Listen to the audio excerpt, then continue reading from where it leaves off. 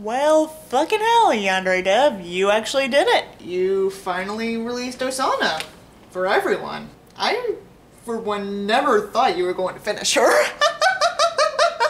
anyway, hey guys, it's Flower Gothic. Welcome to my office, which is just a desk and my computer and my printer, but I just finished the video. Osana's complete and Yandere Simulator's official demo is now available. I was originally going to react to this while watching it, but I found myself repeating the exact same points again, and again, and again. So I decided to instead watch it the whole way through and then at the end, give my thoughts on the matter. So, so one thing that stood out to me, Yandere dev-wise, is that he said that the gameplay mechanics are complete, yet says that he still only has placeholder graphics. Which is kind of ironic, and it's like, do you really think that graphic design is not an aspect of game development? Because it is!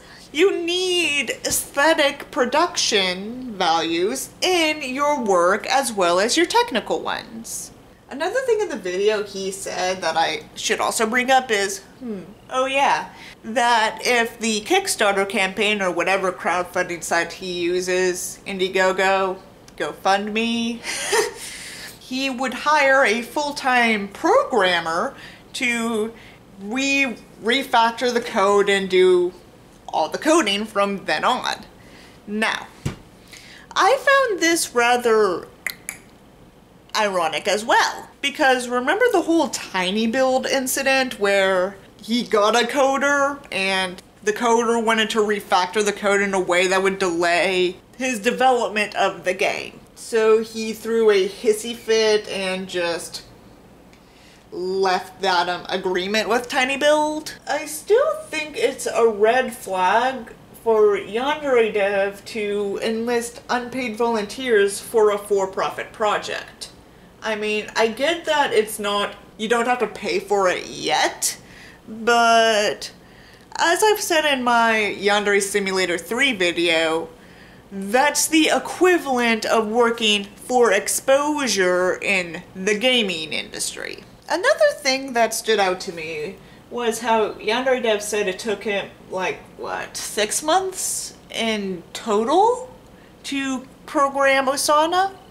when Kokona, Kokona Haruka, was coded in less time than that because she was the test rival, though she should have been the tutorial rival to begin with. You already had her whole backstory and everything, and she's just a test rival. She was going to be the one in the crowd.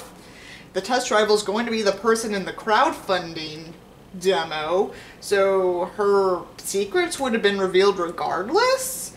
I don't get why you're so protective over your tutorial rival because everyone's going to know the canon behind her by the time the demo comes out. There isn't much I really have to say about Osana, the Osana video, other than congratulations Yandere Dev, you finally did it. I noticed also that your frame rate for the game is still peanuts, but hey, Maybe if you had your code refactored in the first place, it would have been a lot easier for you.